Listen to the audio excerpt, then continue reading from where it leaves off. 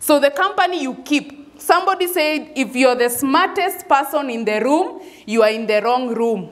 You should change your room. At if you have five foolish friends, you didn't count properly. There are actually six, plus yourself. Haya. So your company defines you. Si unaona iron sharpens iron. So wanakusharpen either kwa vitu mzuri ama kwa vitu mbaya wanakusharpen. Um, but now I have written to you not to keep company with anyone named a brother who is sexually immoral or covetous or idolatrous or reviler or a drunkard or an extortioner, not to even eat with such a person. Hapa Paul alikuwa anasema siwezi waambia ati msikip, msikae na watu wenye ni eh, tuwaite sinners, hizo sins zote pamoja, wenye wako kwa world, wenye wako kwa world wameshachagua world.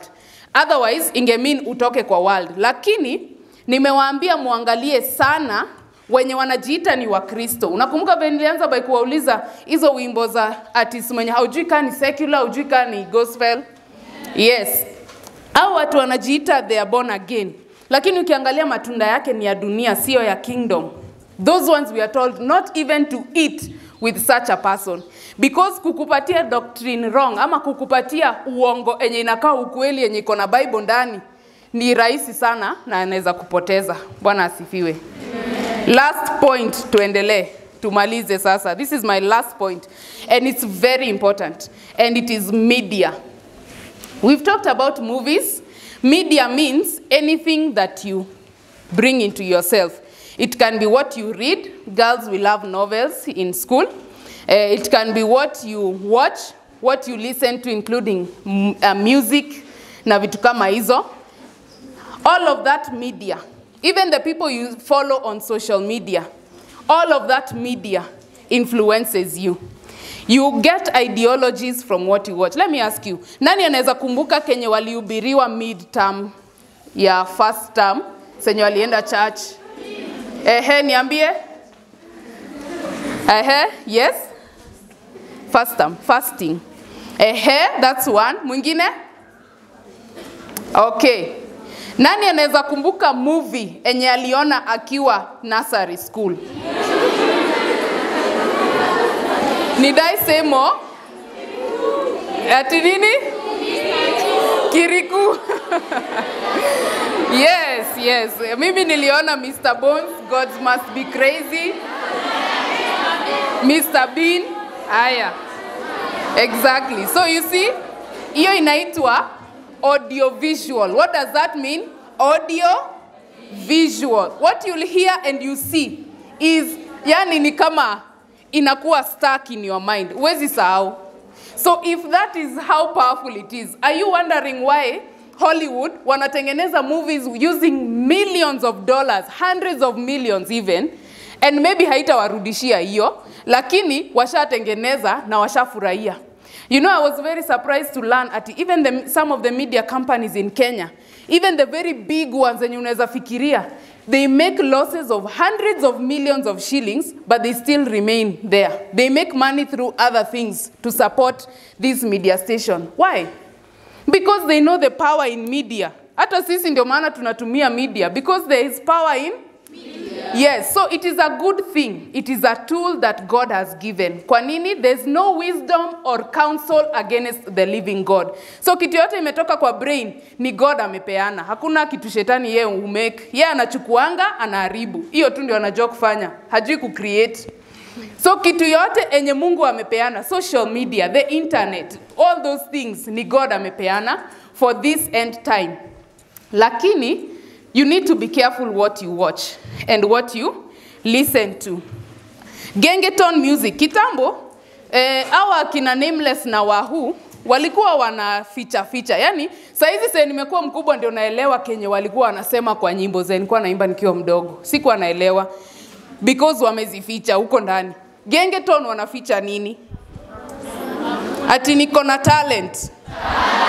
Tuachie hapo tafadhali. Haya, sawa. So, I'll finish with that. I'll finish with that because I don't want to, to, to take a lot of time. Si tumelearn kitu? Job 31 verse 1, just right. Job 31 verse 1 inasema, listen, inasema, I have made a covenant with my eyes. Why then would I look at a young woman? By looking, anasema lustfully.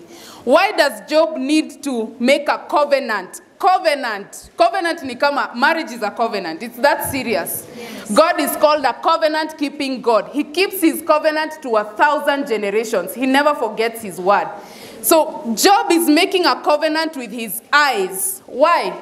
Because your eyes are the windows to your soul. What you let into your eyes ni gate umefungua. So kenye umefungulia hiyo gate ndio itaingia. Gate ni eyes, the ears, anything yenye ni sensory organ. Even your, your feelings and your touch, touch. Hizo vitu zote ni gates. But the most important, eyes na ears ndio vulnerable.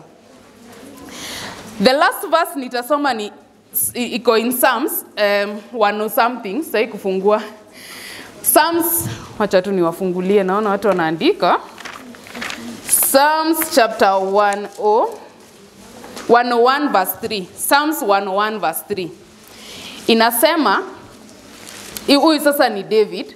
David says, I will set nothing wicked before my eyes. I will set nothing wicked before my eyes. What do you do with your phone? Si unaekanga mbele yako. What do you do with the TV ama laptop?